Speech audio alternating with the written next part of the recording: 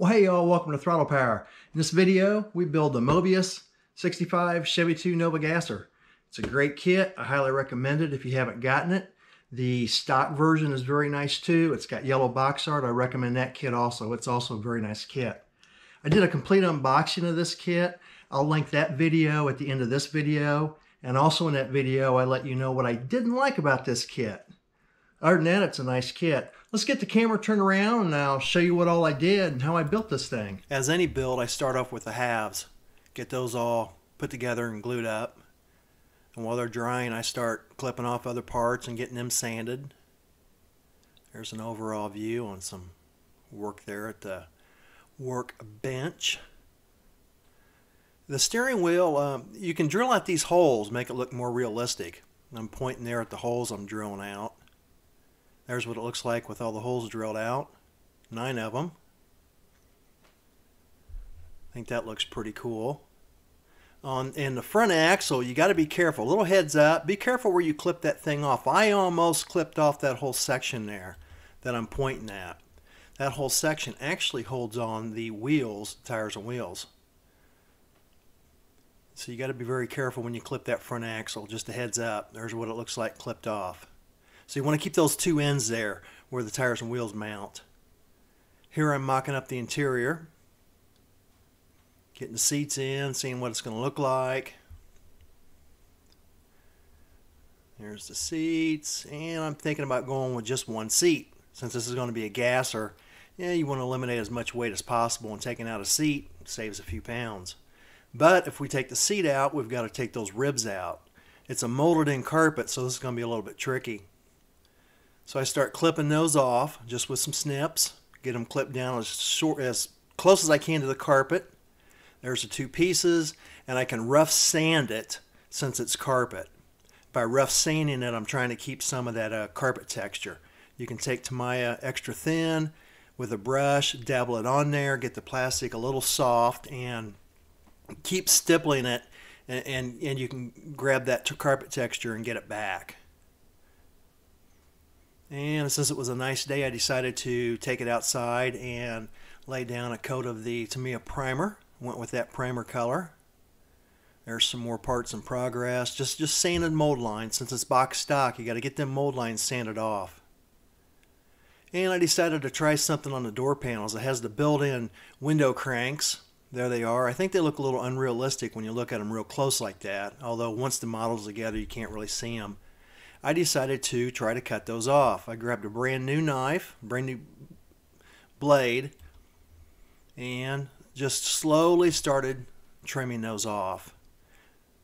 And once they get trimmed off, then I could sand them and then remount them. There, there's the four pieces up on that silver plate. They're tiny. They were a trick to sand once they were off. If I had to do it again, I probably wouldn't do it and I remarked by drilling little holes where they would go because I'm going to sand those panels, get them roughed up because they're going to get painted an aluminum color. So an aluminum piece, just like that silver piece up there, is kind of scratched up looking instead of perfectly smooth. There it is sanded up. And I've got the whole interior now shot with an aluminum color paint.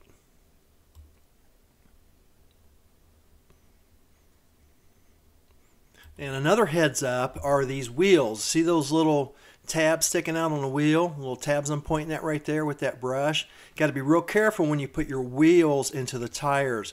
You want to make sure you put the back in facing up like that going down in the back of the tire. Mount it like that because see those lines right there? That's what you're going to get. You cannot avoid getting those lines on your tires and you definitely don't want that on the front. So mount them off from the back and they will look nice. You won't get those lines in the front. You'll just have them in the back. Those lines are unavoidable. There's another close-up of those lines. You don't want those lines. If you take anything away from this video, mounting those tires and wheels like that. There it is. It's flipped over. No lines because it went in from the back. There's the whole set. Sanded a tread on the tires, give it a little bit more realistic appearance and working on the engine and transmission. The detail on this engine is very nice. It's a small block Chevy. The, the transmission has great detail. Really like this engine. I dechromed everything. Headers went together very nice. They're actually three piece headers. Your two pieces go together, then your flange at the end, and the flange is open, which is really nice. So you don't have to drill anything out. Love that flange that, that, that goes on the end of the headers. There's a little bit more work going on. There's the engine with an up close look. Again, I, I think the engine looked really nice when it's together. Very convincing. have you heard of Moon steering wheels? Those are my favorite steering wheels. I actually used to have all six of those at one time. They come in the six colors your silver, the purple, the green, the gold, red, and blue. I decided to try to replicate that blue moon steering wheel. And again, cut out those holes, drill them out. Got my steering wheel mounted. And you can paint it with any high high flake silver you want. I use that silver there. It's got a high flake in it. Your Tamiya paint, I use that just straight blue, TS15. It's very transparent. It picks up that silver underneath to give it a nice speckle sparkle look. There's a close-up of it. This is going to be very convincing when it's done. And then I painted the inside of it silver. This was silver paint. Working on the firewall, Love the master cylinder on this thing. Those silver pieces on the left and right there on the firewall, that's where the roll cage is going to mount in. Started working on the traction bars. Decided to paint those orange. I was going to paint them yellow, didn't have yellow, so I went with orange. Now I'm painting the body. It's a straight blue. Decided to use a little bit of the rust, te- the salt technique for the rust. That's another reason I chose that Tamiya primer red that I used. It's kind of a represents a rust color. There's the colors I've used so far Use the uh, airbrush thinner to thin the orange and the white and the blue. Those are Vallejo colors. And I love colored glass on a gasser. So I decided to color the glass. There's the paint I used, the clear blue X23 with Tamiya.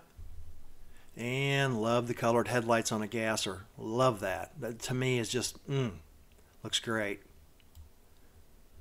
There's the front grill getting all put together. There's the glue I like to use for my glass. You can use any white glue actually. There's my sub assemblies coming together. Getting ready to put all those on. It's really coming along very nice. The build's going along very well. Really like this kit. It's a great build. Highly recommended. There's a close up on the traction bars. Thought the traction bars looked really convincing. There's a steering link. And we've got decals put on. Decided to go with those. Distressing the body a little bit, showing up some of that red underneath. There's the front end. And I'm getting ready to put that on, but I've decided to go without a front bumper. So in order to do that, I've got to take that bottom black piece off. I've got to cut it. That's all one piece there that you see that's black. There I've cut it off. So that's what holds the front bumper. And now I black wash the back of the grill since that piece is gone. And we've got it mounted onto the body. Love those colored headlights. Another close up of the colored headlights. You know the build's coming to an end you can almost see the finish line when uh, you've got all those empty parts trees. Let me know in the comments below if you save your trees or not. I throw all those away. I just throw them into the box, and when the build's done, I get rid of all that. There's the finished build. I thought it turned out pretty cool. Use different decals, but other than that, this thing's box stock. I didn't use anything else.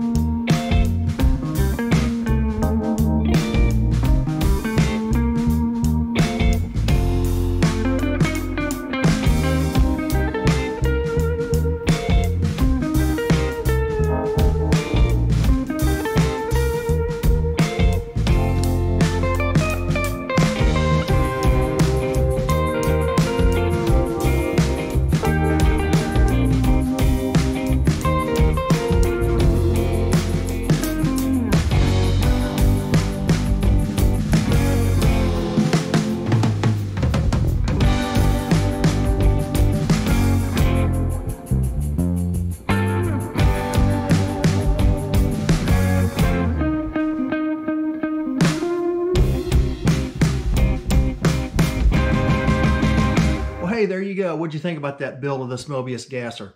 Again, I just used paint of what I already had. I wanted to build something box stock. Haven't built box stock in years. Wanted to try it. It's a challenge building box stock. You gotta gotta really watch what you do and and take care of all the basics to make the model really stand out. Let me know in the comments below what you think about it. Let me know in the comments below if you've got this kit.